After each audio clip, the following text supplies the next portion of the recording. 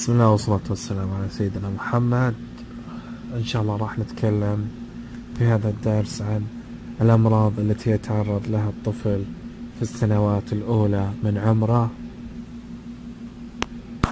التبول اللا إرادي راح نتكلم عنه بشكل يعني مبسط جدا في هذا الدرس البسيط. طبعا التبول اللا إرادي شكل من أشكال الأمراض. شكل المثانة في هذا الوقت يكون مثل البالون. طبعا وظيفتها تخزين البول لفترة حتى يحين عملية التبول. طبعا عملية التبول معقدة جدا. موعد إرسالها إلى الخارج الجسم عبر القناة البول الخارجية. ويتحكم في هذا النشاط الأعصاب والعضلات والنخاع الشوكي والدماغ.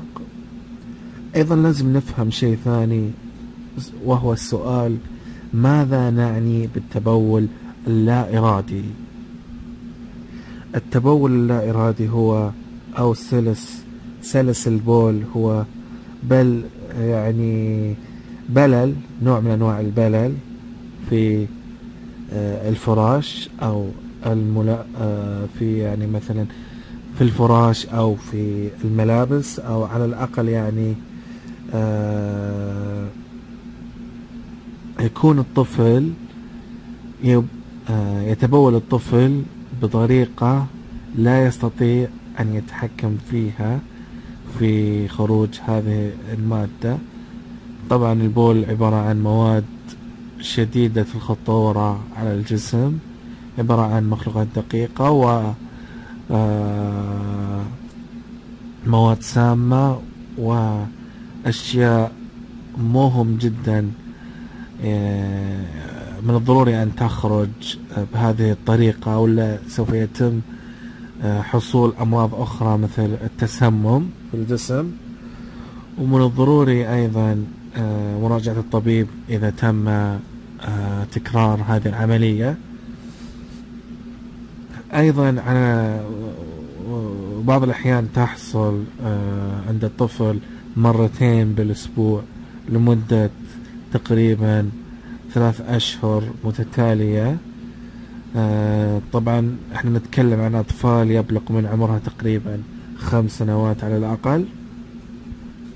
والتبول اللا إرادي أيضا آه، الليلي آه، أثناء الليل آه، ممكن أن يتبول الطفل في الليل في فراشه وهو نائم مثلا. أيضا التبول اللا إرادي النهاري حيث يحدث في وضع النهار. التبول اللا إرادي طبعا ينقسم إلى قسمين.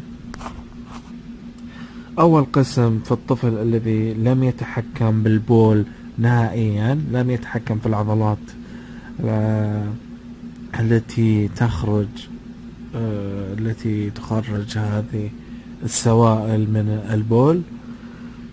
أيضا آه، النوع الآخر اسمه التبول اللا إرادي الثانوي.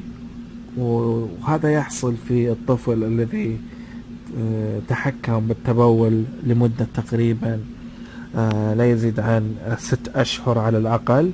ثم عاد إلى آه، نفس عملية آه، البول وهو البول في الفراش. بعد التعود من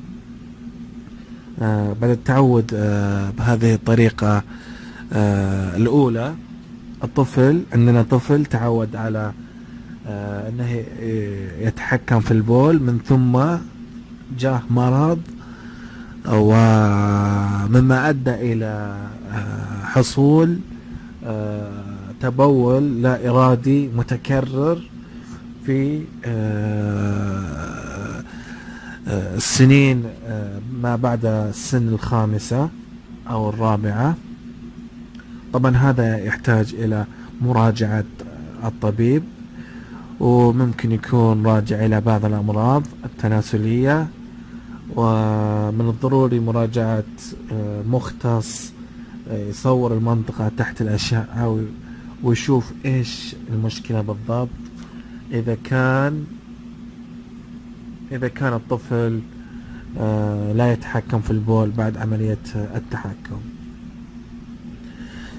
هذه أنواع آه، البول اللا ارادي وأتمنى أنكم استفدتم من هذا الدرس. كان معكم الباحث خالد بن السعود الحليبي وإن شاء الله نشوفكم في درس قادم